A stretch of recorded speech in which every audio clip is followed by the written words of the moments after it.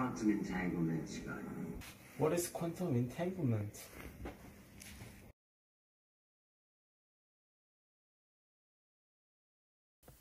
Let's prepare for a blue bird and a red bird. Then we can say that the two birds are entangled because there are only two conditions that if one is blue and the other can only be red. However, from the quantum mechanics point of view, we don't know which bird is in the cylinder until it is opened.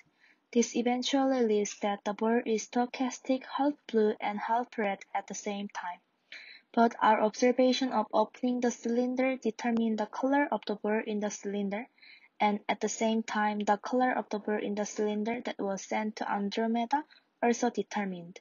Information from distance places about 2.5 million light years passed in seconds.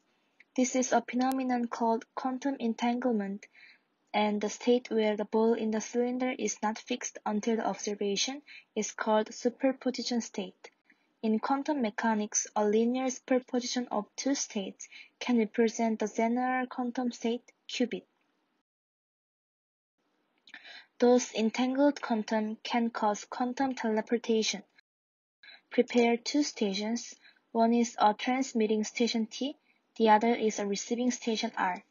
Then entangled photons A and B sent to each station T and R. Also, we have another photon X which we would like to transmit to station R. X and A are also entangled, then states B and X are identical by orthogonal. Therefore, when you measure the state of X, the state of B is fixed to an identical state of X. That is, the properties of X is transferred to station R. This process is called teleportation. Quantum teleportation is the transfer of quantum state from one location to another with previously shared quantum entanglement between the sending and receiving location. Then, will we have personal teleportation in the future? No, it is impossible. To teleport a person, we must convert our mass into quantum information and restore it to the desired location. Quantizing all human components will generate 10 to 20s power to quantum bits which will take billions of years to process and send them to today's computers. However, teleportation is possible in a diamond. We will introduce a paper, the name is Teleporting Quantum Information in a Diamond.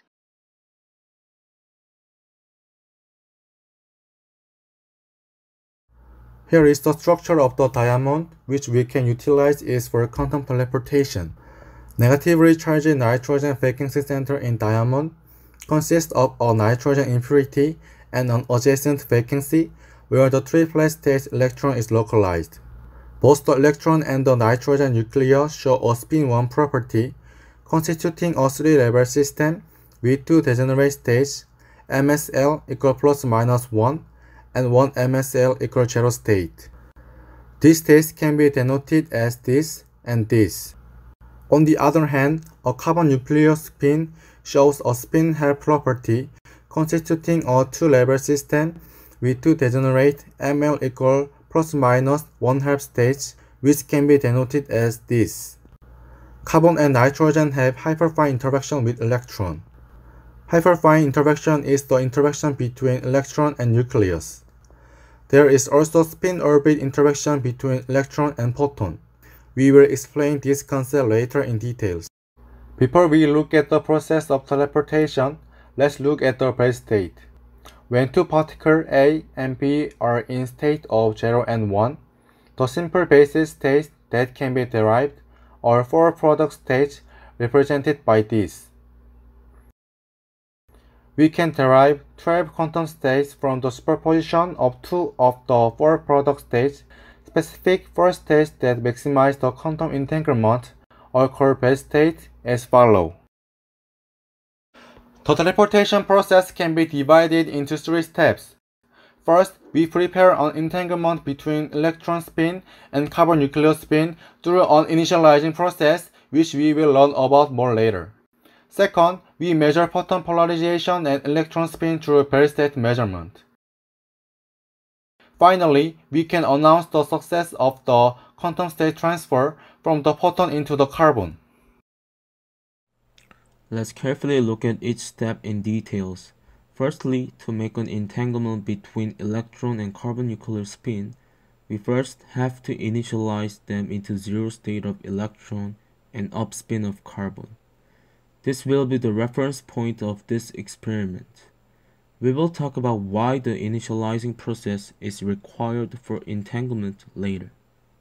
It is hard to manipulate individual carbon nuclear spin, so we have to use an initializing process. In the other words, we will use an indirect way to flipping carbon nuclear from down to up spin rather than directly controlling the spin. With some technique which is called CPT, using red light having right circular polarization photon, we can excite the electron into a spin orbit correlated eigenstate A2, and then polarize electron into plus 1 state. It is transferred into the nitrogen nuclear spin to polarize into plus 1 state. This state of nitrogen acts as a nanomagnet, applying local magnetic field on the electron to initialize the carbon nuclear spin into the up spin. The reason why we initialize them into zero and up spin states is to apply specific strategies to make an entanglement between them. The strategy uses some microwave and radio wave as shown here. We apply microwave and radio wave in regular order into the initialized zero and up spin state to make the entanglement between minus 1 down and plus 1 up spin state of electron and carbon which can be described as Bell state.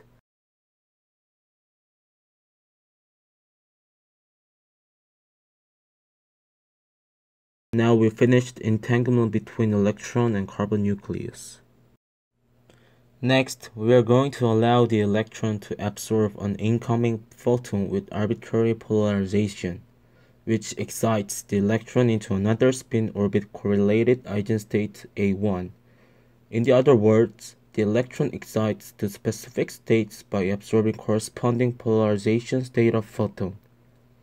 This projects the polarization state of the photon and the spin state of the electron into one of the Bell states. Now we can describe the whole system as follow. These two are in entanglement between electron and carbon nuclear spin. By absorption of photon into the entangled electron, it excites into eigenstate A1. As a result, photon absorption allows indirect observation of carbon nuclear spin states through the Bell state measurements of the state of electron and carbon nuclear spin.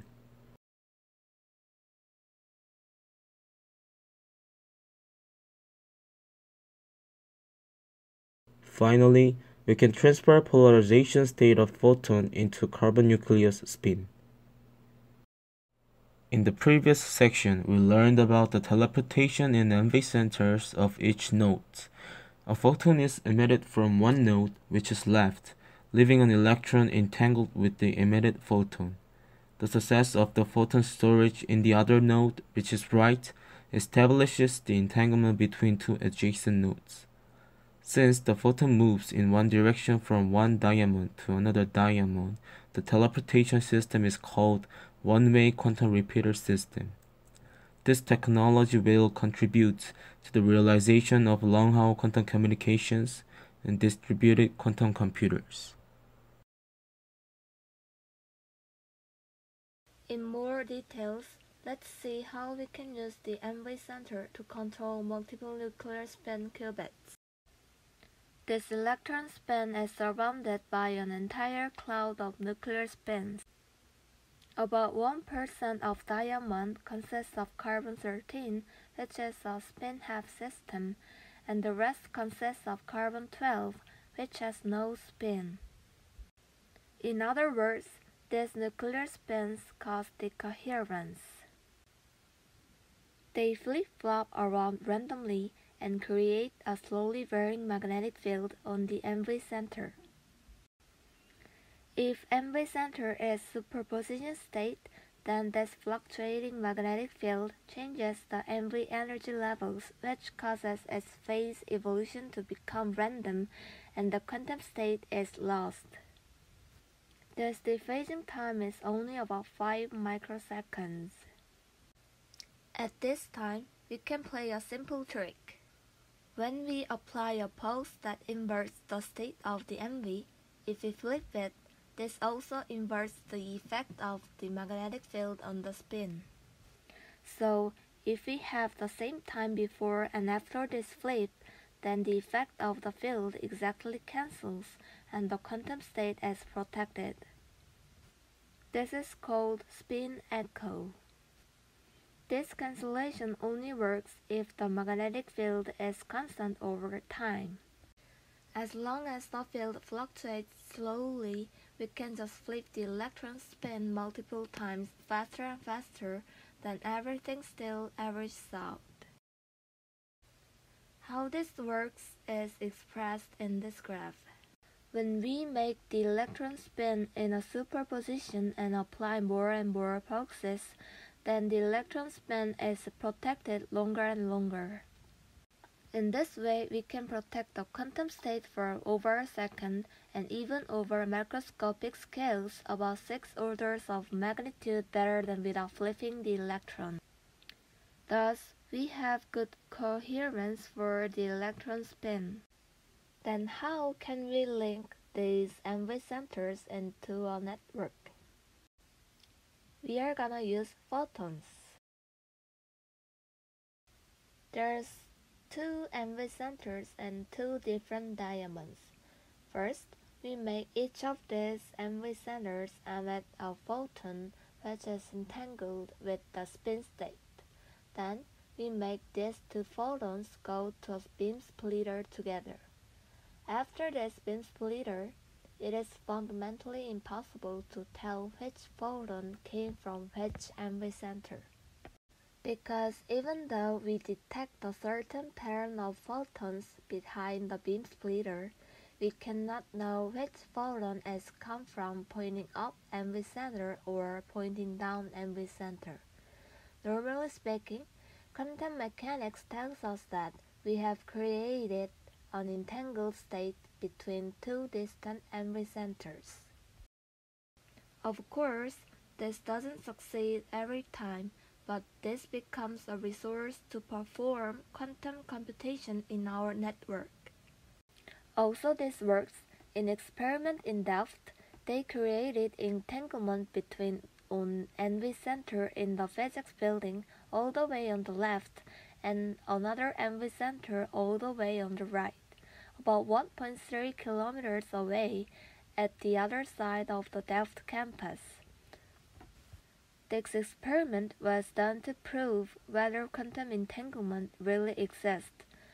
The outcome was yes, quantum mechanics is still correct.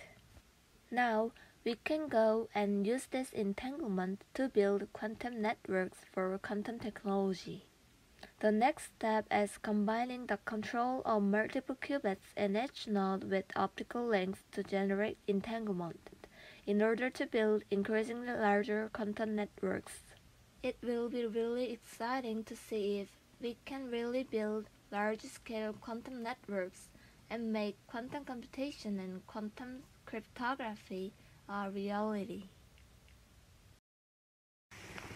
Ah, that's quantum entanglement. I got it.